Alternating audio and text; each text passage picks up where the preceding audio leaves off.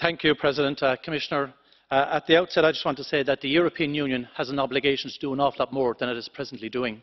We cannot have a situation where the burden falls on a few states to deal with the particular humanitarian crisis that's unfolding in the Mediterranean.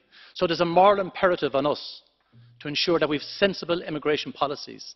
But in the meantime, the people who are clinging to boats in the Mediterranean cannot be allowed wait.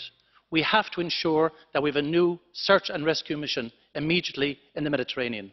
Uh, the Irish Navy was previously involved in Operation Sophia, where it rescued thousands of people.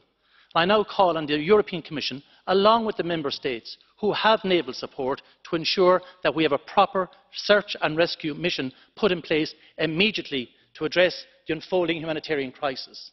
The long-term issue of immigration can be addressed as well, but we have this moral imperative immediately. I have been disappointed that the Irish Government has not funded the Irish Navy to the point where we now have two naval ships tied up in dry dock because of lack of personnel. They should be in the Mediterranean Sea along with other naval uh, boats from other countries addressing this humanitarian crisis. Urgently act.